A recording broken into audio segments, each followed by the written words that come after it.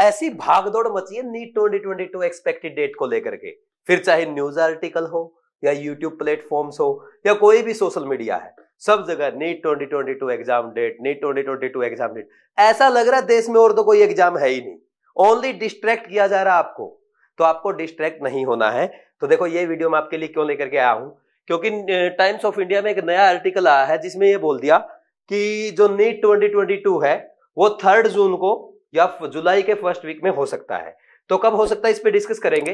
लेकिन अगर आप डिवाइस सोर्स पे नए हैं तो प्लीज़ आप चैनल सब्सक्राइब करें और बेल आइकन प्रेस करें, क्योंकि इस पे मैं आपके लिए हेल्पफुल इंफॉर्मेटिव और मोटिवेशनल शॉर्ट्स वीडियो अपलोड करता हूँ। ठीक है भाई?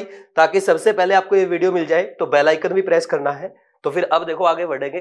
तो आगे क्या है? टाइम्स ऑफ़ इंडिया का जो न्यू आर्टिकल आया है इसमें जेई मेंस के बारे में लिखा गया है कि जेई मेंस 2022 में स्टूडेंट्स को फोर चांस नहीं मिलेंगे ओनली टू चांस मिलेंगे। और वहीं पे एक लाइन लिखी गई है कि नीट 2022 एग्ज़ाम जून के थर्ड वीक या जुलाई के फ़र्स्ट वीक में हो सकता है। और वहाँ पे साथ में यह भी लिखा है एज डिस्कस्ड अर्लियर यानी उन्होंने पहले कभी जो एनटीए के ऑफिशियल्स है उनसे बात की होगी तो उसी इंफॉर्मेशन को या उसी न्यूज़ को उन्होंने दोबारा लिख दिया।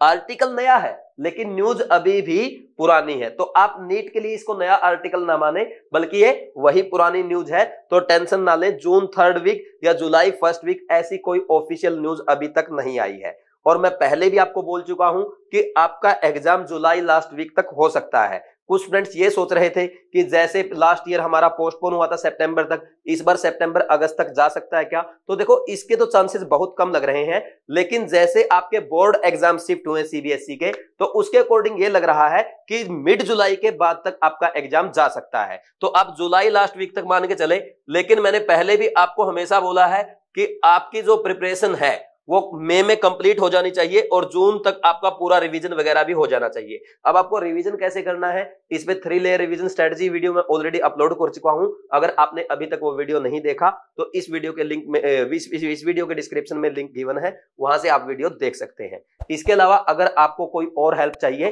तो आप कमेंट सेक्शन में कमेंट करके बता सकते हैं। Thanks all the best